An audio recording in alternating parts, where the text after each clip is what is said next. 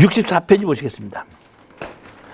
경상남도 김해시 진영읍 하계리 이거 사실은 제가 상당히 이거를 추천을 해야 되나 말아야 되나 하고 상당히 고민을 했던 물건인데 이거 그래서 제가 어저께 여기 현장을 가봤습니다.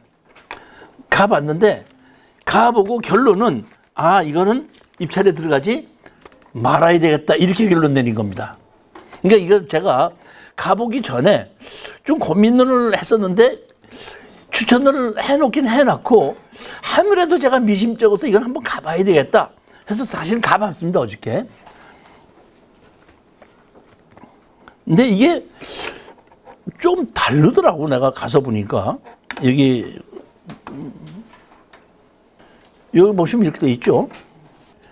이렇게 돼 있죠 보면 그 여기 보면은 노란 색깔 이렇게 나와 있고 이렇게 보면 이쪽에서 보면 이렇게 있는 것 같은데 여기가 막혔더라고요. 그 다음에 여기 창고가 된다.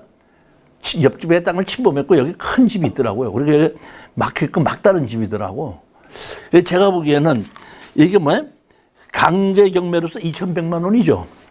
그 다음에 여기 지금 보면 그 4,600이죠. 이거는 협상도 안 될 것 같고 그러니까 이 집 주인이 제가 보기에는 안 될 것 같고 취하 뭐 시키는 것도 이게 잘 어려울 것 같고 그래서 이건 제가 현장을 가보고 나서는 아 이거는 제가 이게 조금 추천을 좀 잘못했다 이러 싶으니까 이거는 제가 보기에는 그 추천을 했지만은 현장 답사 결과 별로 이렇게 좋은 물건이 낙찰 받는다고 하더라도 협상이 잘 안 될 걸로 제가 판단을 그렇게 했습니다. 그러니까 상당히 보면은 경제력으로 어떤다? 부족한 집이에요 보면